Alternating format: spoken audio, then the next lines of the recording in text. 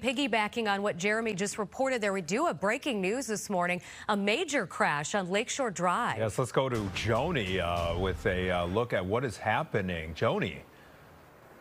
Good morning. Uh, that crash closed down southbound Lake Shore Drive between Randolph and Monroe, but in the last minute, the last of the emergency vehicles just passed through here. They have prepped the road and towed the cars away, so southbound Lake Shore Drive is now reopened. We have some video of the severity of that crash. It appears that there were two cars involved in a crash just uh, near Randolph. That's where Lake Shore Drive kind of goes downhill, and you can see that the front end of one of those vehicles was really really damaged. There was another car that was involved as well, and uh, the fire department came out here. They took transported one person in red condition. That's a general condition of a, a severe injury. The other there was one other person involved. They refused treatment at the scene, uh, but you can see it was a pretty bad crash. And then it apparently spilled some kind of fluid all over Lake Shore Drive. There were some workers out here tossing salt onto the street so that uh, traffic that is now flowing would not uh, hit that fluid.